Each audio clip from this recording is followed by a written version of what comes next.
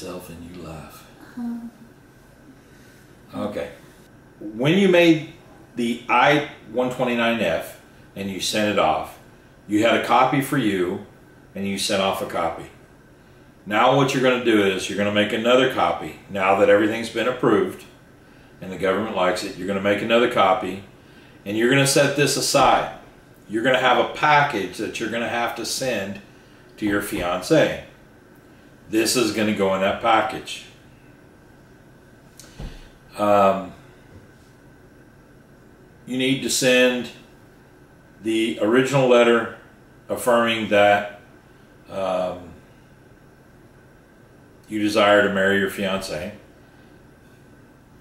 And that's with the I-129F, the K-1 visa, the whole bit.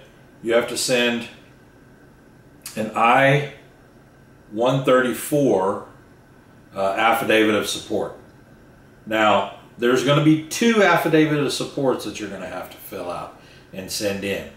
In the beginning, the first one is going to be the I-134. That one, the one you'll be sending now at the time that you're sending everything to her. Okay, so you will need several items for the above form. Gather duplicate evidence, evidence of income and resources, resources as appropriate. So basically, Okay, so um, it is a statement of, from the officer of the bank or official institutions with your deposit identifying that the following date, account opened, total de de deposit for the past year, three present balance. Hmm, I think I did that. Statement. no, that was for me. I had to send that. Ah, ah that's for you. Yeah. Okay, because I remember I didn't So- do it. The fiance, whether it be male or female, Yeah. you're going to be sending all this documentation to them. The I-129 129F, that goes in there. And then you're going to put in other documentation, and this is part of it. One will be the information from your bank account officer, uh, giving the date it was opened, uh, showing the total amount of deposits, showing the current balance, um, Year. yeah, the year year to date over the last year, what the balances were at the end of each month. Your your document will say that. And the statements from your employer or business stationery showing date and nature of employment which is oh, okay okay and then salary paid whether position is temporary or permanent or included copies of your last two pay, pay stubs and your, and then your previous W2 for the associated um, employer if available. Okay, so and then if self-employed, copy of a last income tax return filed or IRS transcripts or two, two report of commercial ratings concern and then a list containing serial numbers and denominations of bonds and name of records owners. Alright, begin collecting this as soon as possible after your NOA2 arrives. That I pulled off of uh, NVC. Uh, NVC will have the information and it gives you a list of the different things.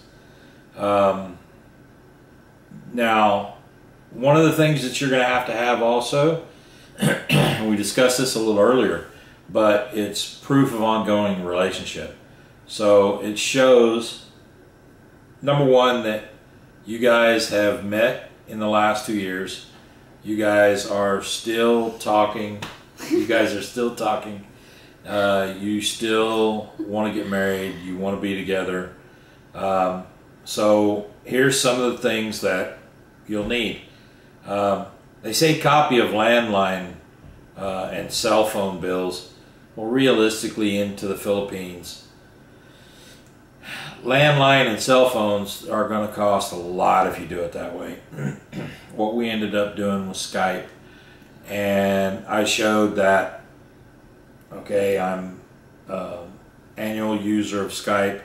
I showed that um, I have a separate deal to allow me to call cell phones in Skype. It's thirteen dollars a month, I think is what it was, and showed that. Um, and then it has where you can go in and make a list of calls that you've made having to do with those cell phone, uh, with the cell phones that you call, and I basically made that list and sent that also. Um, you're going to have to put in photos of you guys together in the Philippines or whatever country you're at Yeah. together. Um, being in the Philippines would be a good one. Basically, wherever you're at, make sure that you take photos that are uh, prevalent to that region. So, what we did was we took photos of things that are only in um, Manila, and um, that way we could show that number one, I was there. we also you're going to need to uh, there's several different types of proof but basically photos of y'all together um, photos of you meeting the fiance's family um, take um, records the the records of you uh, traveling there your uh, passport Tickets. your tickets showing that they were paid, your um, your hotel. For me, it was hotel and car, showing that, um, and then uh, basically just showing pictures of where you were and what you were doing, and you know that you were together. Yeah. Um, oh, this is the one that you like so so good, babe. Which one? Oh, vaccination. Yeah. Okay, so um, where was that? The K1 and half beneficiary will be required the embassy to have a medical. So um, done prior to the visa interview. So let's just say it straight, um, straight, right? Yep. Okay, so you're gonna under uh, undergo for the vaccinations, which is St. Luke's and physical exam like that. That that's in the Manila area. Yeah, Was St. Luke's. yeah, it's in Manila. All right, and then uh, if you have other vaccinations that was before, you can show it to them, and then so that way they're gonna uh, you're gonna have less injections that you get. Okay. In other words, if you have all the injections needed to come into the U.S. Yeah. Uh, or that the U.S. wants for you to come in, you won't have to have any injections at all. But if you don't, you have to take and get the injections, and excuse me, and basically, um, they're going to take take a look at exactly what you have. They're going to check you. They're going to check your blood. They're going to check. Uh, they're going to do uh, an exam. They're going to do X-rays, complete physical, Yeah. uh, and vaccinations if necessary. All right, so she's having a good laugh here. So basically, what you need to do is once you get the um, approval, you need to go get your medical. You the medical, let's just say at Manila area, St. Luke's, your medical is a first come first serve. So what that means is you need to get there first thing in the morning. But let's back up a little bit. Your interview date, you have to call in and get the interview date set once the approval has been given to you. You're going to call in, you're going to set a date and a time for your interview. Once you do that, you have to take and back that time up two weeks. And within that two weeks, you need to take and go get your physical done. It has to be within two weeks of your interview. Now, the interview you've already got set. You need to go to your physical. Like I said, it's a first come, first serve. My suggestion is get there first thing in the morning. You're gonna you're gonna be there two different days. Okay. So you were there two days. Okay, so I want to say something. Okay. Um, if I were you guys, um, you um just get uh, near hotel there and uh, St. Luke's area because there is two very close. And because you're gonna be there on we uh two days. And on the next day like first day on the that two days you're gonna get your um what's this? The information? The result. Yeah. The result. You're not supposed to open it. Yeah. Don't open the result. yeah. Now, so make sure not to open the it. You have a vanilla envelope and you have plastic over that. Mm. Okay, don't open either one. Just leave it alone. Let them open it when you go to the mm. interview. If you do open it, you have to go to back to the consulate. Back. yeah You have to go back to the consulate, let them know you opened it by mistake, let them look at it. If they think that you were digging through it, they can shut it down and not take it, but normally they won't do that.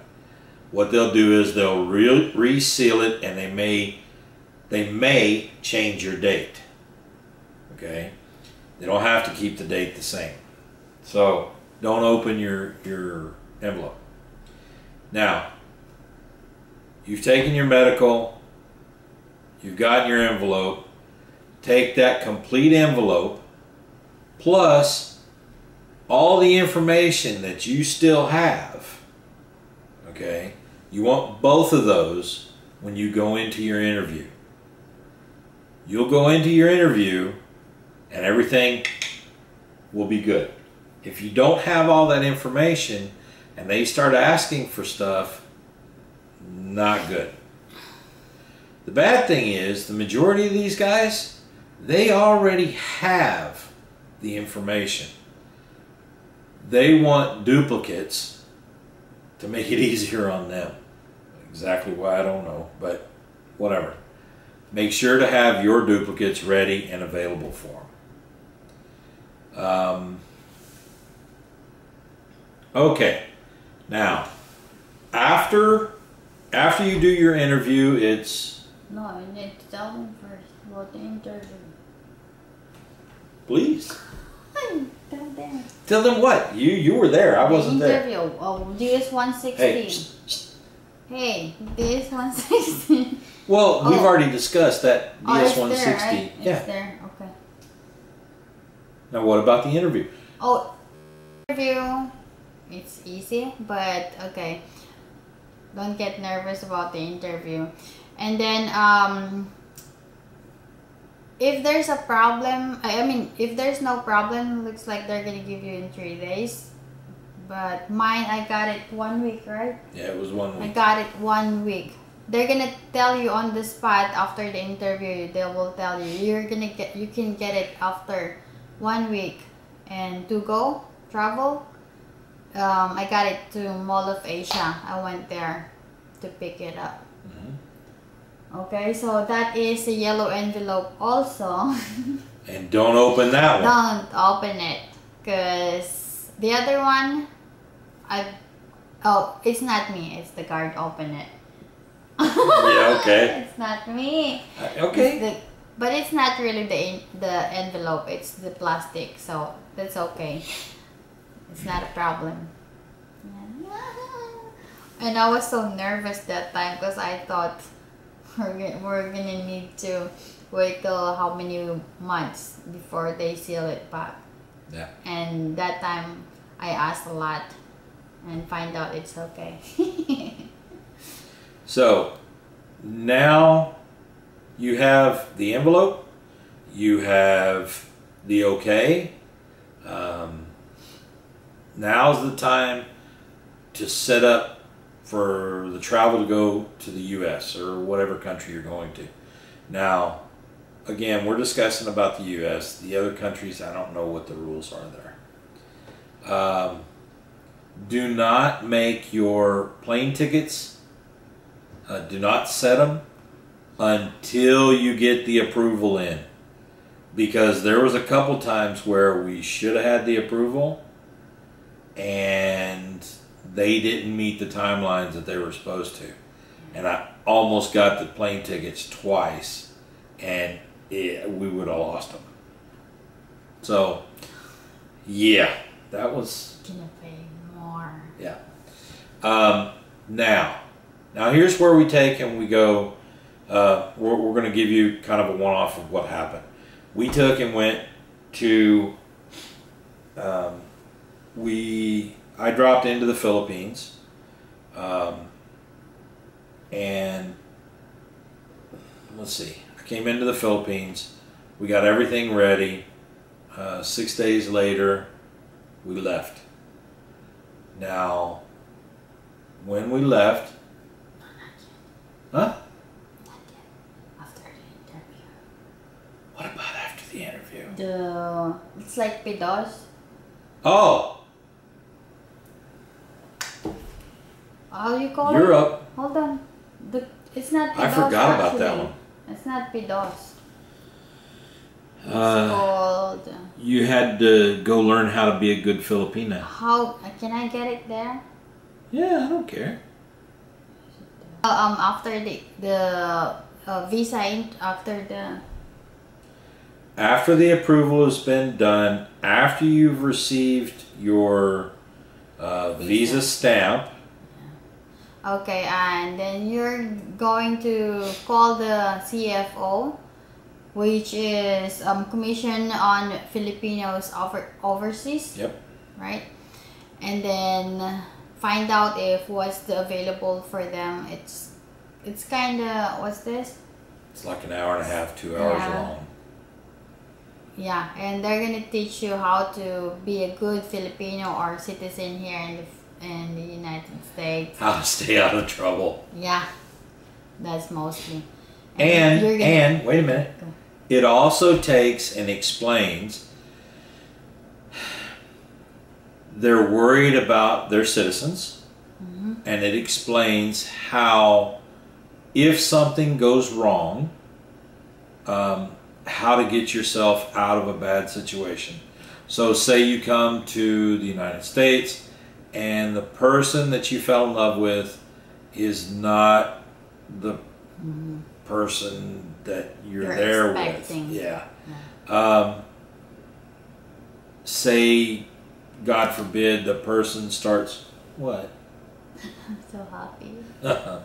uh, God forbid, say the the person beats you or is bad to you in one way or another, and um, you can't deal with it anymore. Well, they discuss that in that class, and they discuss what you can do to help get away if necessary.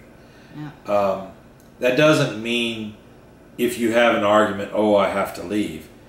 Understand Your rights. being understand your rights, Yeah. but understand that being married is an experience and it's something you have to work at. Um, both sides, and um, this just all right, um, and this just um, this class helps you understand um, what your rights are, uh, what you should do in certain situations, and uh, gives you directions of where to go to uh, make it all better. Okay, And- if necessary, get you back to the Yeah. Philippines as soon as possible. and then um, they're gonna help you there and you're gonna have another interview there. You, you're gonna need a lot of the paperwork which is we told you about that earlier what paperwork is it. Yeah, okay. It's the same on the all of the paperwork that you have. So that the u.s embassy didn't get it that's supposed to be on the other one the Yeah. cfo okay all right and you can call the CFO in advance to make sure of exactly what what you need what you need, and also you need to call them in advance. That way you can set up for a class, a timeline of the class. Excuse me, a timeline of the classes that they have. That way you can make sure you can get in. Okay. Now, I Want to tell them about what is very important they asked me? tell them. Okay, they asked me there. It's the same of the interview and the U.S. Embassy. And then they're gonna get the pictures from the trips that he got, or your fiance being there in the Philippines. They're gonna get all the informations too. And how did you meet? There's a lot of questions too. So they're gonna make your mind twist if you're lying or not. Yeah. Mm, But anyway, you got your visa already. Yeah, and uh, that class cost 400 I 450 don't remember. um, approximately 10 US dollars. It was like 400 or 450 pesos. I It's think like it was. or one. Oh, I thought it was more than that. No, I, I guess it's like that. Okay, Both. Anyway. I no, no, not both. It's half half. it's okay.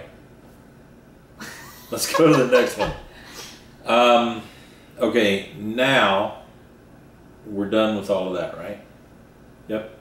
Okay, so now I dropped in. Six days later, we were on our way out. Um, and you can just drop in, and she can be waiting there and turn around on the next plane and leave. It just it all depends on you. You need to set up that in advance. yeah. Uh, you're going to be surprised because a one-way ticket for her will be more than what your round trip ticket is normally, Yeah. unless you set it up way in advance. Uh, But you can't do it. yeah. Um, so what ends up happening is you go to check in at the airport, and at the check check in, they're going to take a look at all of her documentation, Mm-hmm. or all of the fiance's documentation. They're going to take a look at all that and make sure that uh, she has a visa, because they won't let her leave if she doesn't Yep. or him, whichever the case may be. Um, and then you'll be flying into an international airport here in the U.S. eventually. Now, when that happens, you have to do a check-in, but it's not a normal check-in. You have to do an immigration check-in complete, including with visa. Normally, like in, in LAX, when you come in, um, when you get ready to go through the immigration piece, it's all the way to the far left, um, and you go through over there. Basically, it's going to take about 10 to 15 minutes. They're going to look through all of your documentation. They're going to look through all of her documentation, make sure that everything's there. Hi guys, we've hit the end of the part two video, Fiance K1 Visa. Stay tuned for the up and coming part 3 video coming soon. Sorry for the length of the videos, but I do hope that they help you to get your visa. Have a great day. Bye.